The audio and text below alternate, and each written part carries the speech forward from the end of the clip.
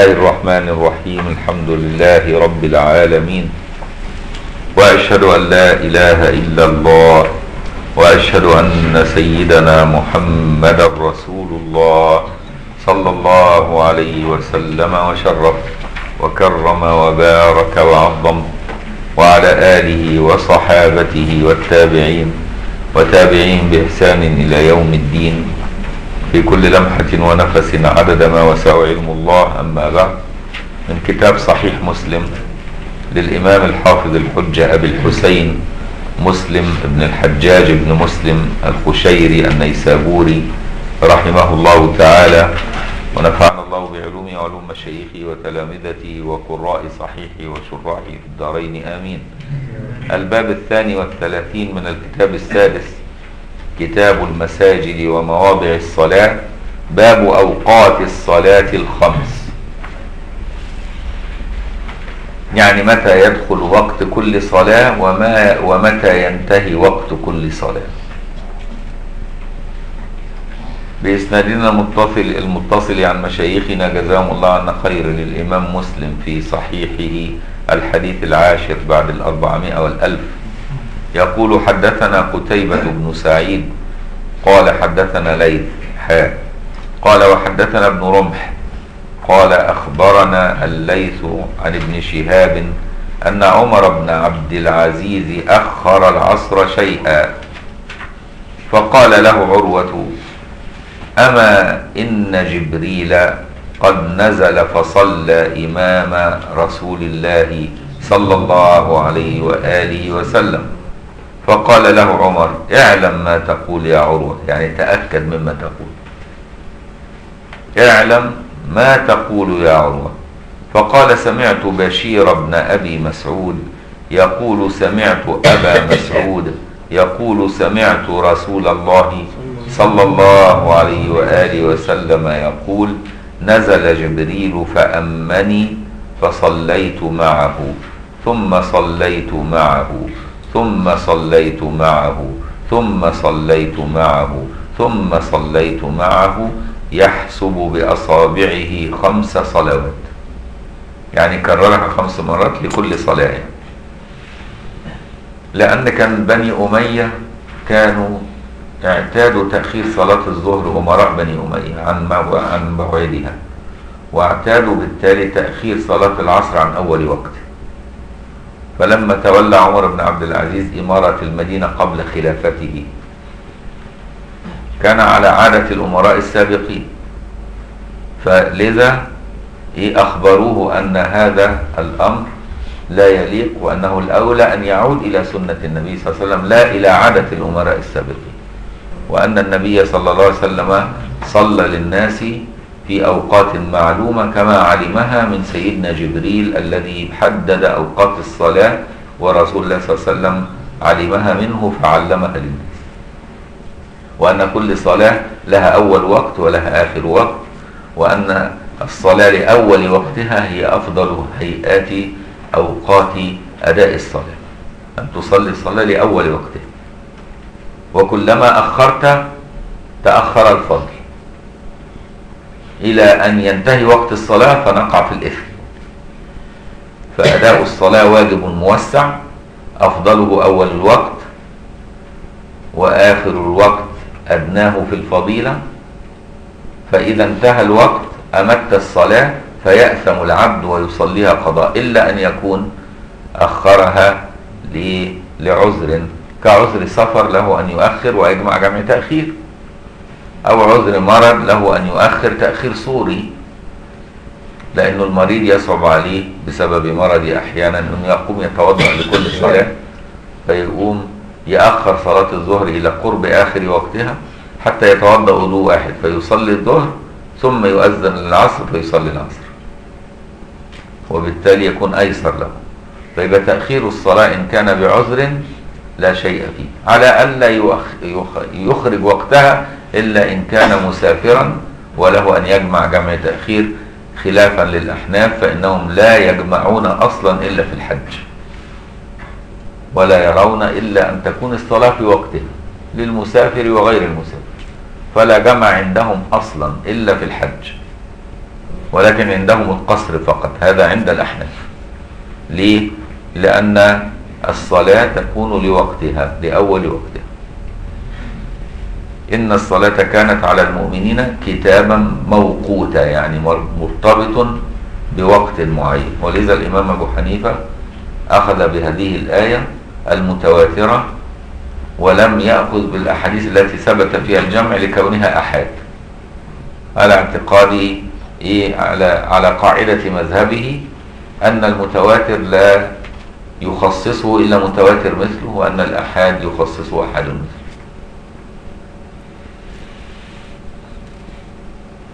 فلما علم ذلك سيدنا عمر بن عبد العزيز بدأ يصلي الصلوات في أول وقتها فبدأ فغير عادة أمراء بني أمية لما علم ذلك من إعلام الصحابة له. وهذا فيه تواصي الأمة والنصح نصح الأمة لبعضها البعض ولو كان المنصوح أميرا فالأمير ليس فوق النصح بل ينصح ولكن ينصح بطريقة تليق لا ينصح بطريقة الشتائم وبطريقة المظاهرات وبطريقة التفجيرات لا ينصح بهذا ليس من أدب المسلمين هذا من أدب الرعاع.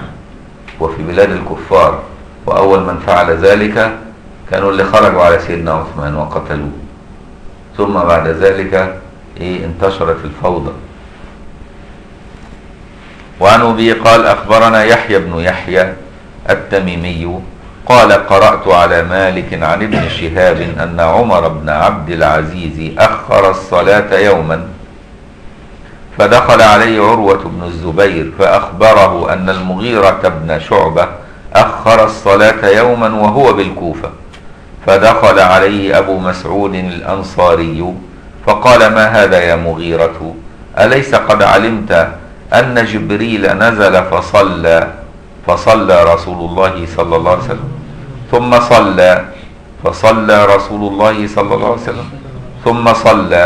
فصلى رسول الله صلى الله عليه وسلم. ثم صلى. فصلى رسول الله صلى الله عليه وسلم. ثم صلى. فصلى رسول الله صلى الله عليه وسلم. خمس مرات. لأن هي خمس فرائض ثم قال بهذا أمرت. فقال عمر لعروة انظر ما تحدث يا عروة. أو إن جبريل عليه السلام هو أقام لرسول الله صلى الله عليه وسلم وقت الصلاة؟ يعني بينها؟ فقال عروة كذلك كان كذلك كان بشير بن أبي مسعود يحدث عن أبيه. قال عروة ولقد حدثتني عائشة زوج النبي صلى الله عليه وسلم. عائشة زوج النبي تبقى إيه؟ خالة سيدنا عروة لأن عروة أم أسماء أخت ستنا عائشة. وهو يروي عن خالته أم المؤمنين سيدتنا عائشة.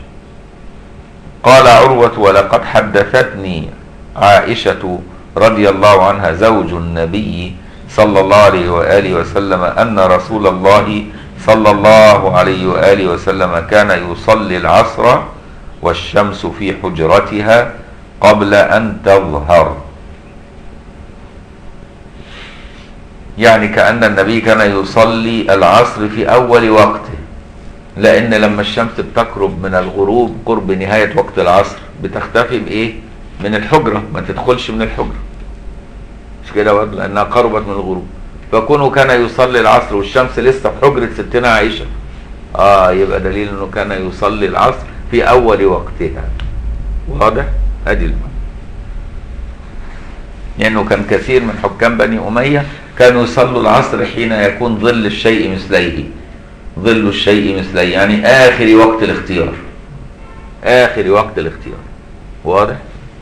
فهم علشان كده عدلوا الأمر وأعادوه إلى السنة الأولى. وعن أبي قال حدثنا أبو بكر بن أبي شيبة وعمر الناقد. قال عمرو حدثنا سفيان عن الزهري عن عروة عن عائشة رضي الله عنها كان النبي صلى الله عليه وآله وسلم يصلي العصر والشمس طالعة في حجرتي لم يفيء الفيء بعد. وقال أبو بكر لم يظهر الفيء بعد. يعني لسه ما جاش ظل جدار لأن لما الشمس تنزل تروح إيه؟ تختفي عن عن الشباك الذي يدخل منه ضوءها فيبقى إيه؟ يبقى فيء الجدار. يوم يجي لك إيه ظل الجدار بقى. فاهم أدي المعنى. يعني معناه كان يصلي العصر ولسه الشمس هنا. مش يصلي العصر والشمس هنا. يعني بيصلي في أول وقتها. فهمت بقى المعنى؟ لأن ما كانش عندهم ساعة. يقول لك كان الساعة كذا. ما كانش لسه عندهم ساعة. كانوا بيعرفوا الساعة عن طريق إيه؟ حركة الشمس. وطول الظل وغير ذلك. وعن أبي قال وحدثني حرملة بن يحيى قال أخبرنا ابن وهب قال أخبرني يونس عن ابن شهاب قال أخبرني عروة بن الزبير رضي الله عن عائشة زوج النبي عروة كان تابعي عروة كان تابعي لأنه ولد والنبي لم يره. لكن عبد الله أخوه الكبير كان صحابي. لكن عروة نفسه كان تابعي من كبار التابعين. قال أخبرني عروة بن الزبير. ابوه طبعا الزبير بن العوام ابن إيه؟ ابن عمة النبي حواري النبي فداه بأبيه وأمه. قال فداك أبي وأمي. ما هو سعد بن أبي وقاص. والزبير بن العوام هما الاثنين الوحيدين في الصحابة اللي النبي فداهم بأبيه وأمه. قال إيه؟ قال لسعد ارمي فداك أبي وأمي. وقال برضه للزبير لما جاءه بخبر بني قريظة في غزوة إيه؟ إيه؟ خيبر قال له إيه؟ قال له ماذا معك فداك أبي وأمي؟ يعني من أخبار يعني. رضي الله عنهم جميعا.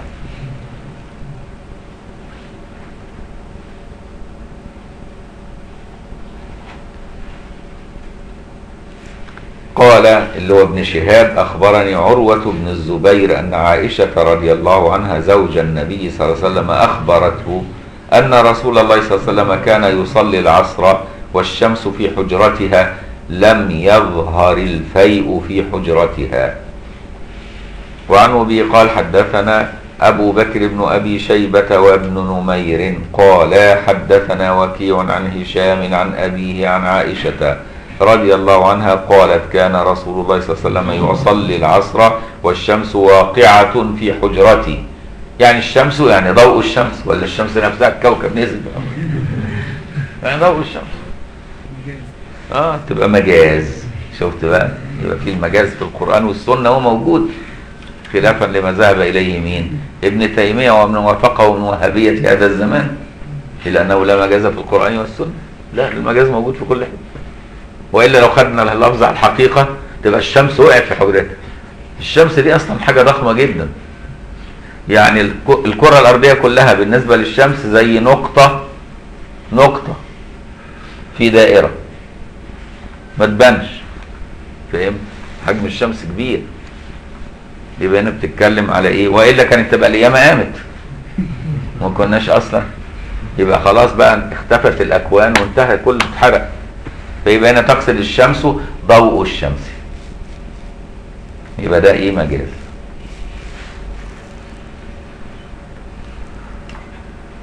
وعن أبي قال حدثنا أبو غسان.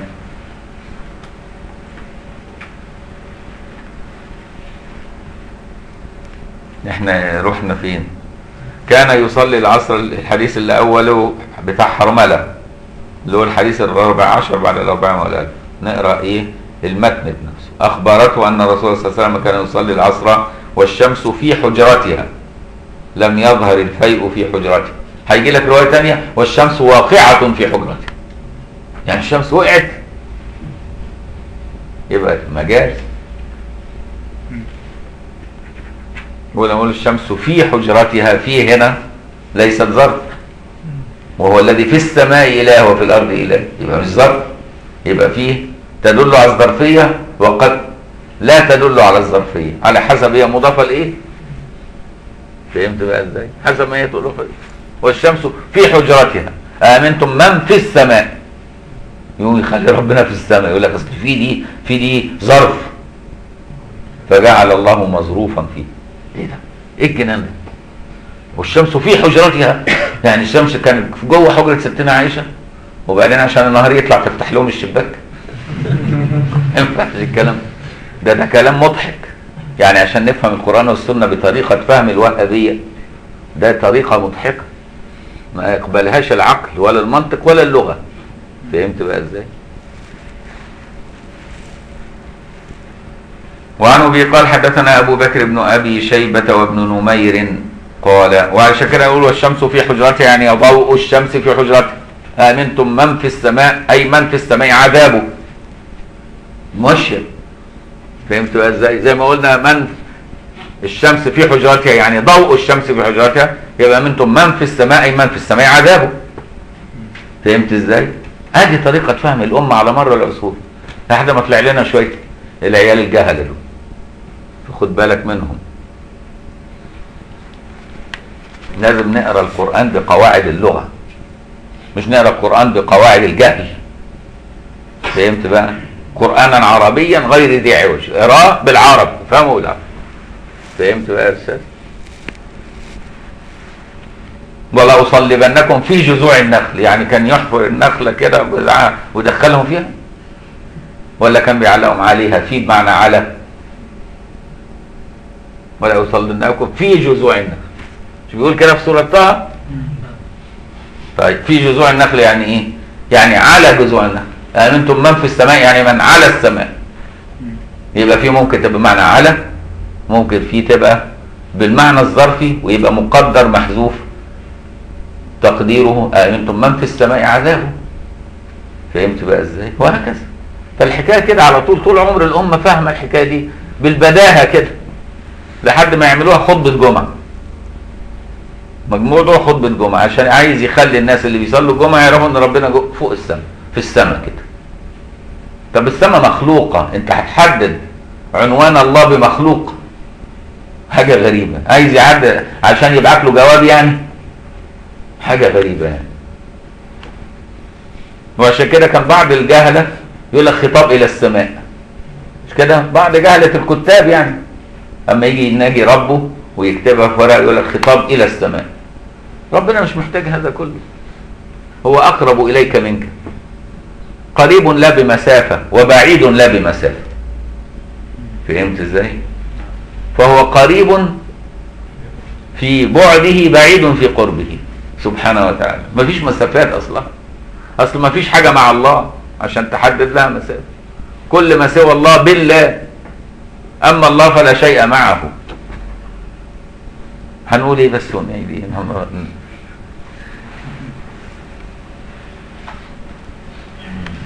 وعن أبي قال حدثنا أبو بكر بن أبي شيبة وابن نمير قال حدثنا وكيع عن هشام عن أبيه عن عائشة رضي الله عنها قالت كان رسول الله صلى الله عليه وسلم يصلي العصر والشمس واقعة في حجرته يا يا خبر أسود. الشمس وقعت. والشمس واقعة في حجرته يعني وضوء الشمس ما زال واقع في حجرته ماشي خلاص فهمنا. سهل. وعن أبي قال حدثنا أبو غسان المسمعي ومحمد بن المثنى قال حدثنا معاذ وهو ابن هشام. قال حدثني أبي عن قتادة عن أبي أيوب عن عبد الله بن عمرو أن نبي الله صلى الله عليه وسلم قال إذا صليتم الفجر فإنه وقت إلى أن يطلع قرن الشمس. أول ما يطلع قرن الشمس يعني أول قوس كده ما هو الشمس دي قرص. تظهر في الأفق أول ما تبتدي يطلع القوس بتاعها كده مقوس كده عامل زي القرن. فهمت إزاي؟ فأول ما يطلع تظهر في الأفق كده يبقى انتهى وقت الصبح. خرج مش لما يطلع اما يأذن للظهر لا. يبقى وقت الصبح ينتهي بطلوع الشمس مش بإيه؟ بوقت الظهر بأول وقت الظهر. بخلاف إن وقت الظهر ينتهي بأول وقت العصر. ووقت العصر ينتهي بأول المغرب. مش كده برضو؟ والعشاء وقتها ينتهي بطلوع الفجر الصادق فهمت بقى؟ إلا الصبح ليه خصوصية؟ وقته من أول الفجر الصادق إلى أن يطلع قرن الشمس. أول ما تطلع قرن الشمس خلاص بقت الصبح إيه؟ قضاء. واضح؟ فإنه وقت آه. إذا صليتم الفجر فإنه وقت يعني وقت أداء. فإنه وقت هنا يقصد إيه؟ يعني وقت أداء. فإنه وقت أي أداء لا قضاء. يقصد هنا بالمعنى ده. فإنه وقت أي أداء لا قضاء. ويبقى التنوين ده عوض عن إيه؟ عوض عن الجملة. عوض عن جملة محذوفة. وأحيانا يأتي التنوين عوض عن جملة وأحيانا يأتي عوض عن كلمة. وأحيانا يأتي عوض عن حرف فهمت بقى إزاي؟ فيبقى ده اسمه تنوين العوض. فإنه وقت تنوين ده يسموه تنوين العوض. عوض عن إيه؟ عن إنه يقول وقت أداء لا وقت قضاء. فهمت بقى إزاي؟ يعني اللي يقرأ الأحاديث لازم يكون واسع الذهن وفاهم اللغة العربية ويعرف إيه المحذوف من غير ما حد يفهمه. يبقى عنده إيه؟ عنده يعني بداهة سرعة بداهة لغوية. زي ما واحد يقول له إيه؟ هي الساعة كام؟ تقول له هو مين؟ هي. هي يعني الوقت الزمن. مش كده برضه هي الساعة كام دلوقتي؟ هي مطرت يعني هي مين؟ يعني السماء. فهمت إزاي؟ فطريقة العرب كده ساعات يقول لك بالضمير على طول من غير ما يسبق ليه حاجة. يقول لك هي مطرت النهارده تقول له هي دي انت بتقول لي بالضمير قبل ما تذكر لي حاجة. مش تقول لي. يقول لك انت إيه ده؟ انت منين؟ انت منين يا ابني؟ انت مش من البلد دي ولا إيه؟ لأن هي مطرت هي دي معناها السماء. طب انت قلت السماء؟ لا ما قلتش. بس أنا فهمتها بعقلي. فالمساله عايزة عقل. فهمت بقى إزاي؟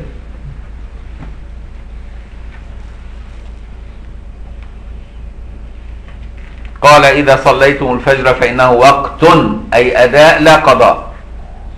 إلى أن يطلع قرن الشمس الأول. ثم إذا صليتم الظهر فإنه وقت أي وقت أداء لا قضاء. إلى أن يحضر العصر. فإذا صليتم العصر فإنه وقت أي وقت أداء لا قضاء. إلى أن تصفر الشمس. آه. وقت هنا بقى المحذوف طالما ما قالش إلى أن تغرب الشمس خد بالك. قال تصفر الشمس. يبقى هنا يبقى وقت اختيار. فإنه وقت أي اختيار لا كراهة فيه. لأن بعد اصفرار الشمس يبقى وقت أداء مع الكراهة. وقت أداء مع الكراهة. فهم؟ طب ليه ما قلناش إن قضى وقتها زي ما ذهب ابن سريج؟ ابن سريج من الشافعيه قال إن الشمس إذا اصفرت انتهى وقت العصر. وتصليها قضاء. عاملة زي الفجر كده. فهمت؟ ابن سراج من الشافعي طب ليه ما قلناش زي ابن سراج رضي الله عنه ورحمه الله ليه؟ لأن النبي قال في حديث تاني من أدرك من العصر ركعه قبل أن تغرب الشمس. فقد أدرك العصر يعني أداء. آه فده اللي خلانا إيه؟ فهمنا إن المحذوف هنا مش الأداء والقضاء. ده المحذوف هنا هو وقت الاختيار ووقت الكراهة. تبقى أداء اختيارا وقت اختيار أو تكون دخلت في وقت الكراهة. فهمت بقى؟ يبقى عشان تعرف المحذوف المقدر إما أن تعرفه بالبديهة أو تعرفه بقيود مذكورة في إيه؟ في أدلة أخرى في نصوص أخرى. فهمت بقى المسألة؟ فمش كل واحد يجي يهجم على صحيح مسلم ويشتريه من معرض الكتاب ويقعد يقرأ لوحده. هيطلع منها أحكام غلط. فهم فإنه وقت إلى أن تصفر الشمس. لأن الشمس بتصفر لما إيه؟ توصل يبقى ظل الشيء مثليه. بعد ما ظل الشيء مثليه تبص تلاقي إيه؟ الشمس ابتدت تصفر. تصفر تصفر تصفر لحد ما تحمر قرب الأفق قبل الشروق عشان الشفق الإيه؟ الأحمر قبل الغروب. وبعدين إيه؟ وبعدين تغرب تروح نازلة خالص. ماتت بقى الشمس ماتت. أول ما تغرب ماتت الشمس مش ماتت الشمس يعني مات وقت العصر انتهى وقت العصر. فهمت بقى إزاي؟ كأن الاصفرار ده شحوب وقت العصر. عارف الشحوب اللي قبل الموت؟ الواحد قبل ما يموت يقول له أنت وشك شاحب كده ليه؟ أنا أبويا كان عمل كده قبل ما يموت. وشه كان شبه كده قول لا إله إلا الله بسرعة. فهمت إزاي؟ علشان كده قوم صلي العصر بسرعة. قبل ما وقت العصر يموت. لأنه صار سفرة الموت بقى ها؟ شحوب الموت. كأن وقت الصلاة ده حي كائن حي. له إيه؟ ولادة وله شباب وله كهولة شيخوخة موت. فالحق صليه وهو إيه؟ في أول ما يتولد. أو صليه في وقت شبابه. ما تروحش بقى قبل ما يموت وهو عاجز. فهمت بقى إزاي؟ كل ده برضه تشبيه. فإنه وقت إلى أن تصفر الشمس فإذا صليتم المغرب ويقصد تصفر الشمس يعني إيه؟ اللي هو ضوءها يعني برضه ضوءها. فإذا صليتم المغرب فإنه وقت إلى أن يسقط الشفق. آه المغرب يدخل وقتها أول ما يختفي قرص الشمس. لكن حوالين قرص الشمس ده فيه شفق أحمر. وبعديه شفق أبيض وبعدين الظلمة. مش كده برضو؟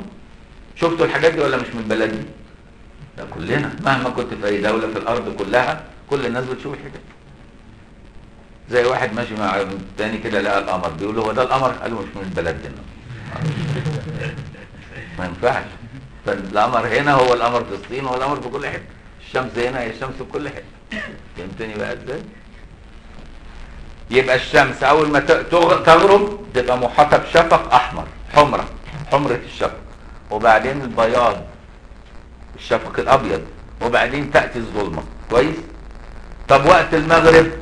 لحد ما ينتهي الشفق. طب أنهي شفق؟ الأبيض ولا الأحمر؟ الجمهور ذهب إلى أنه الشفق الأحمر. والاحناف ذهبوا إلى أنه الشفق الأبيض. فهمت بقى المسألة والمزني مش شافعي. خد بالك حتة دقيقة حلوة دي. المزني مش شافعيه زي الأحناف في المسألة دي. واخد بالك؟ قال إن وقت العشاء هو انتهاء الشفق الأبيض. واضح؟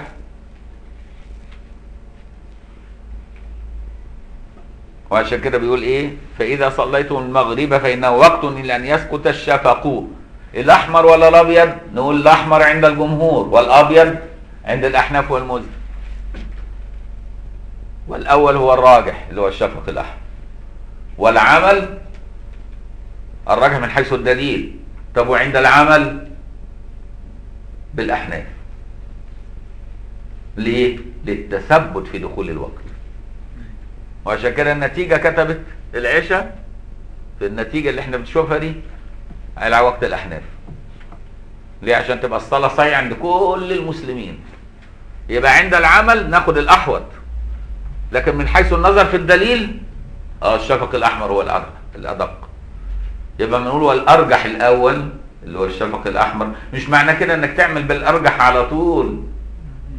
مش معناها إن في قاعدة إن أنا أعمل بالأرجح على طول. لا ده الخروج من الخلاف هو اللي مستحب. فهمت القواعد؟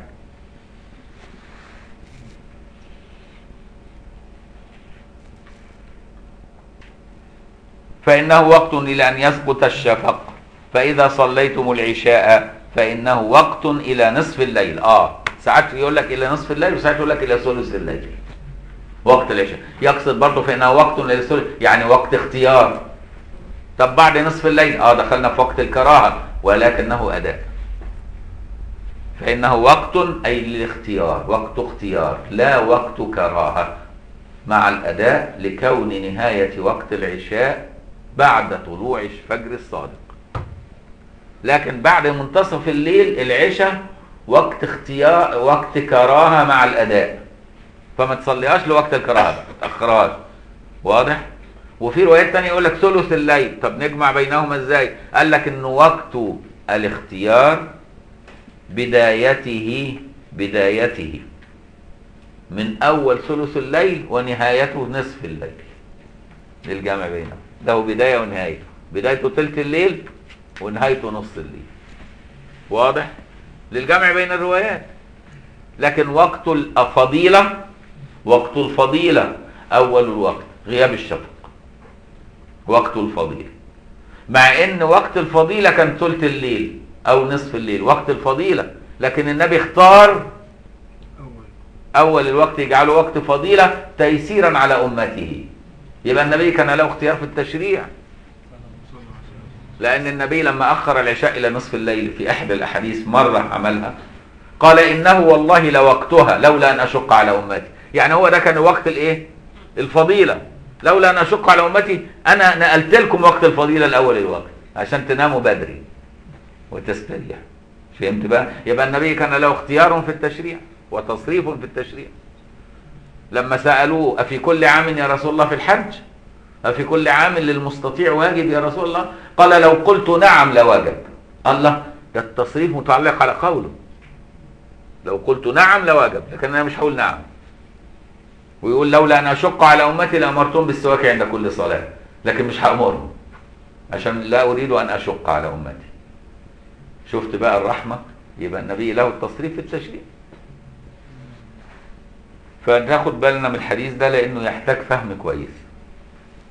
فإنه وقت إلى أن يسقط الشفق فإذا صليتم العشاء فإنه وقت إلى نصف الليل.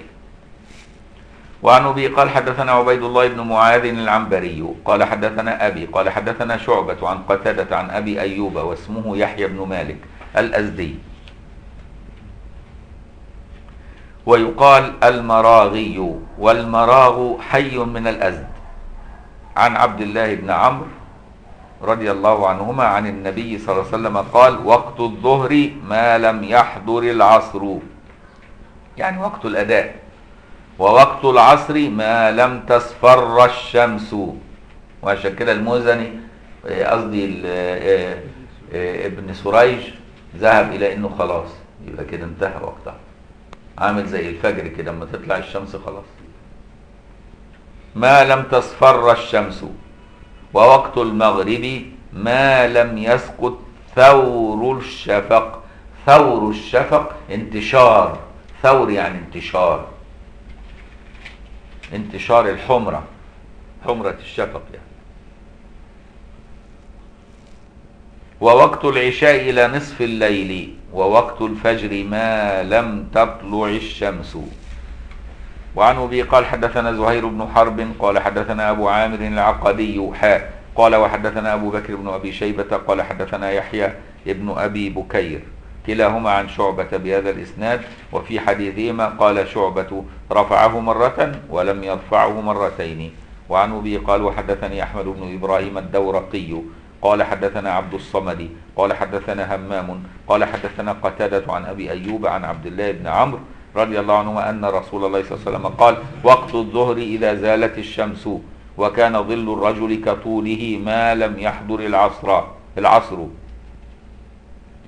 خد بالك إن الشمس لما بتطلع من الشرق تطلع من الشرق تتحرك كده اتجاه الغرب تدريجيا إلى منتصف السماء. كويس؟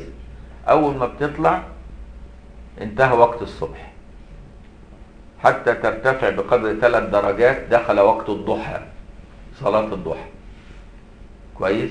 ثلاث درجات الدرجة ثلاث دقايق. يعني ثلاثة في ثلاثة إيه؟ أو أربع درجات. أربعة في ثلاثة؟ 12 يبقى 12 دقيقة أقل حاجة. علشان إيه؟ توصل لصلاة الضحى بعد. بعد شروق الشمس. تفضل الشمس ما زالت إيه؟ ترتفع تدريجيا ولو أنت حاطط عمود على الأرض يقوم تجد إن ظله هيبقى جهة إيه؟ جهة الغرب. وكل ما ترتفع الشمس الظل ينكمش.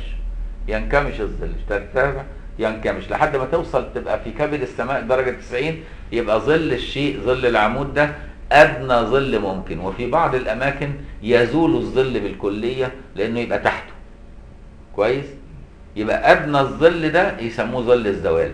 أول ما الشمس تميل جهة الغرب ميل بسيط دحضت يعني زالت عن إيه؟ كبد السماء فانقلب ظل الشيء إلى جهة الشرق. فهمت إزاي؟ ظل الشيء بعد ما كان غربه بقى ظل الشوال جهة إيه؟ الشرق. أذن للظهر يبقى ده وقت الظهر. كويس؟ أول وقت هو ده وقته طيب وبعد كده الشمس تبتدي تتحرك جهة الغرب. ظل الشيء يبتدي يزداد طولا جهة الشرق. مش كده برضو؟ لحد ما يبقى ظل الشيء مثله يبقى انتهى وقت الظهر ودخل وقته إيه؟ العصر. تفضل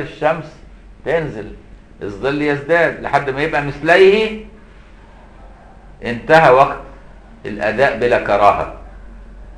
زاد عن مثليه يبقى وقت الأداء مع الكراهة للعصر حتى تغرب الشمس. غربت الشمس دخل وقت المغرب. انتهى الشفق دخل وقت العشاء. واضح؟ أدي أدي طريقة إيه؟ معرفة الأوقات الصلاة. فهنا بيقول إيه؟ قال وقت الظهر إذا زالت الشمس. إذا زالت الشمس عن كبد السماء. إذا زالت الشمس يعني مالت عن كبد السماء. زالت يعني مالت عن كبد السماء. وكان ظل الرجل كطوله. ده نهاية الوقت. ما لم يحضر العصر. يبقى نهاية وقت الظهر هو بداية وقت العصر. عشان كده الملكية قالوا إن في تداخل. في لحظة تداخل بسيط كده بين الوقتين. الملكية. واضح؟ لكن الشافعية قالوا لا ده هو ظل الشيء أما يجي مثله بالظبط نهاية وقت الظهر. زاد ولو ملي. آه ده وقت العصر. فهمت فما فيش تداخل لكن في حد. وكان ظل الرجل كطوله ما لم يحضر العصر ووقت العصر أي وقت الإيه؟ الأداء بلا كراهة اللي هو وقت الاختيار. ما لم تصفر الشمس ووقت صلاة المغرب ما لم يغب الشفق اللي هو الأحمر عند الجمهور وهو الراجح والأبيض عند الأحناف والمزني والعمل عليه وإن كان الدليل على الأول مع الأول. احتياطا. ووقت صلاة العشاء إلى نصف الليل الأوسط. ووقت صلاة الصبح من طلوع الفجر ما لم تطلع الشمس. فإذا طلعت الشمس فأمسك عن الصلاة. اللي هو وقت الطلوع نفسه لأن وقت كراهة. فأمسك عن الصلاة فإنها تطلع بين قرني شيطان. وده إيه؟ فيه نوع تمثيل أن الشيطان يأتي في هذا الوقت ويقف حتى يسجد عباد الشمس فيظن أنهم يسجدون له. الشيطان فارتبطت بالكفر يعني. فإنها بين قرني شيطان لأن عباد الشمس لهم صلاتين صلاة عند غروب الشمس وصلاة عند طلوع الشمس.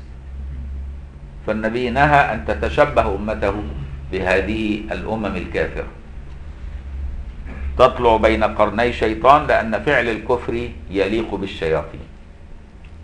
وعن أبي قال وحدثني أحمد بن يوسف الأزدي قال حدثنا عمر بن عبد الله بن رزين قال حدثنا إبراهيم يعني ابن طهمان عن الحجاج وهو ابن حجاج عن قتادة عن أبي أيوب عن عبد الله بن عمرو بن العاص رضي الله عنهما أنه قال سئل رسول الله صلى الله عليه وسلم عن وقت الصلوات فقال وقت صلاة الفجر ما لم يطلع قرن الشمس الأول ووقت صلاة الظهر إذا زالت الشمس عن بطن السماء. يبقى إيه؟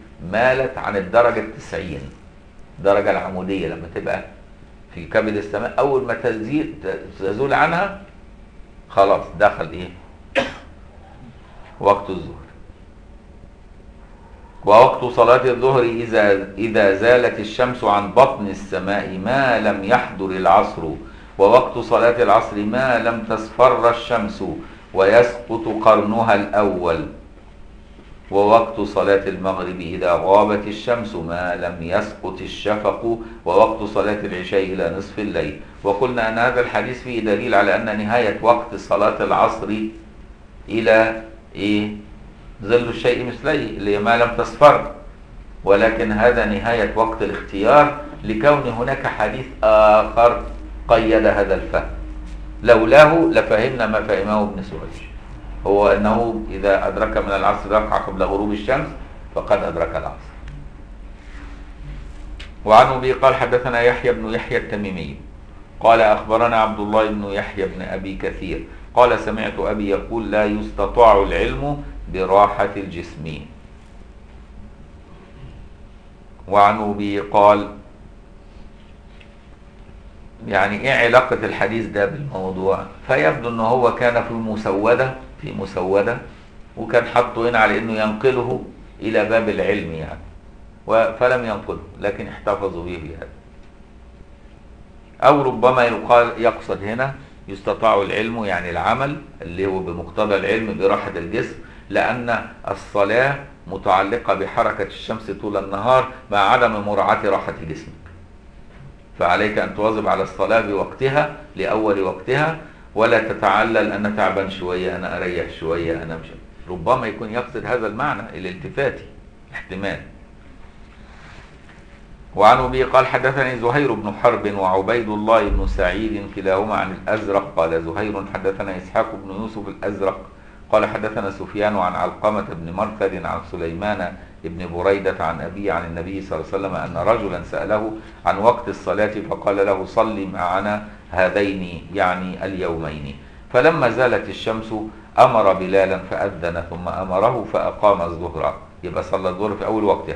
ثم أمره فأقام العصر والشمس مرتفعة بيضاء نقية. ثم أمره فأقام المغرب حين غابت الشمس. ثم أمره فأقام العشاء حين غاب الشفق. ثم أمره فأقام الفجر حين طلع الفجر. فلما أن كان اليوم الثاني أمره فأبرد بالظهر. فأبرد بها. فأنعم أن يبرد بها. يعني أبرد بالظهر يعني أخرها عن أول وقتها. هذه معنى أبرد بالظهر. يعني صلاها آخر وقتها. يبقى الصلاة آخر الوقت تجوز من أجل التعليم. فالنبي أراد أن يعلمه فترك فضيلة أول الوقت من أجل التعليم. فالتعليم مرجح. يبقى أول يوم صلاها في أول الوقت لبيان أول الوقت. طب وتاني يوم؟ صلى كل صلاة في آخر وقتها لفضيلة التعليم على أداء الصلاة الأول وقت واخد بالك؟ يبقى يجوز تأخير الصلاة عن أول وقتها إن كان هناك غرض شرع- شرعي. واضح؟ منه تعليم الجاهل. فأبرد بها فأنعم أن يبرد بها. وصلى العصر والشمس مرتفعة أخرها فوق الذي كان. وصلى المغرب قبل أن يغيب الشفق. وصلى العشاء بعدما ذهب ثلث الليل وصلى الفجر فأسفر بها. أسفر بها يعني حين انكشف الصبح وأضاء قبل طلوع الشمس. يسموه أسفر بها. أسفر الصبح يعني انتشر الضوء ولكن لم تطلع الشمس بعد. ثم قال أين السائل؟ اللي جاب يسأله عن وقت الصلاة. السائل عن وقت الصلاة فقال الرجل أنا يا رسول الله. قال وقت صلاتكم بينما رأيتم. وعن أبي قال وحدثني إبراهيم بن محمد بن عرعرة السامي. قال حدثنا حرامي بن عمارة. قال حدثنا شعبة عن علقمة بن مرثد عن سليمان بن بريدة عن أبيه أن رجلا أتى النبي صلى الله عليه وسلم فسأله عن مواقيت الصلاة فقال اشهد معنا الصلاة. فأمر بلالا فأذن بغلس. فصلى الصبح بغلس الغلس ظلمة آخر الليل.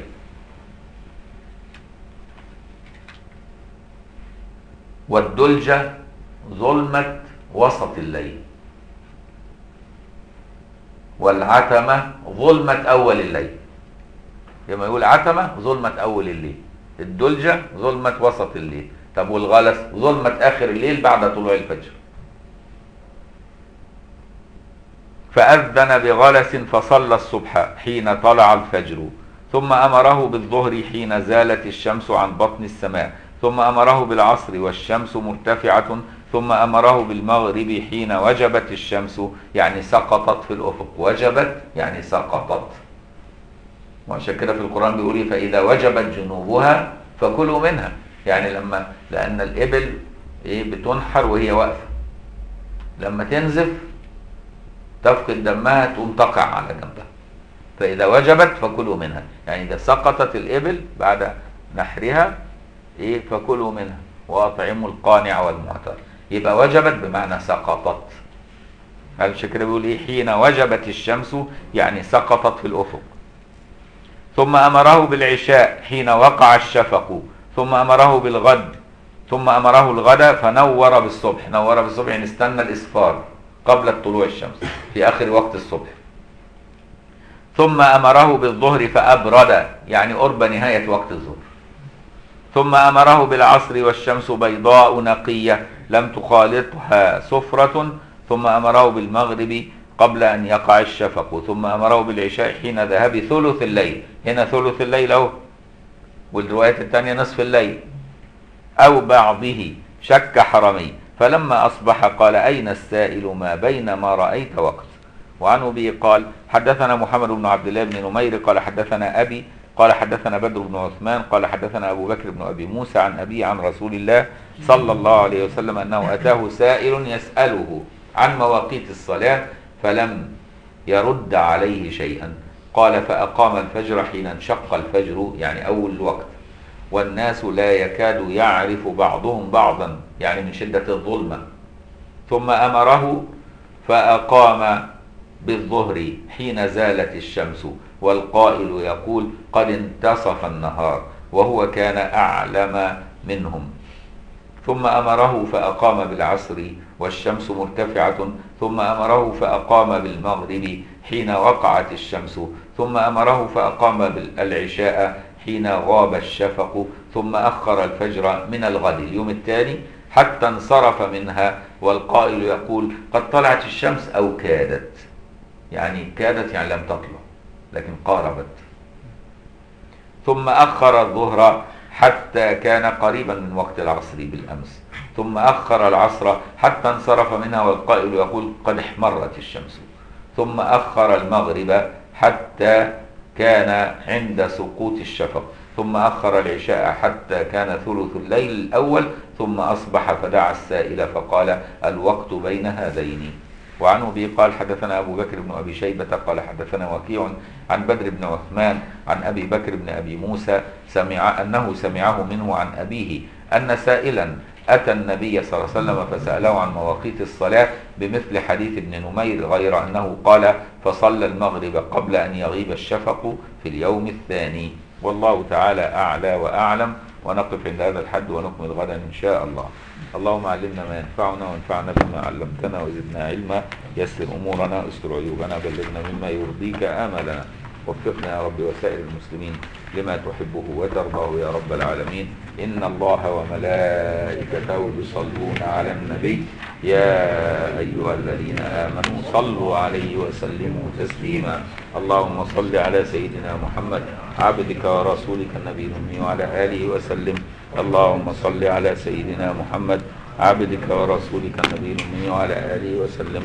اللهم صل على سيدنا محمد عبدك ورسولك النبي الأمي وعلى آله وسلم.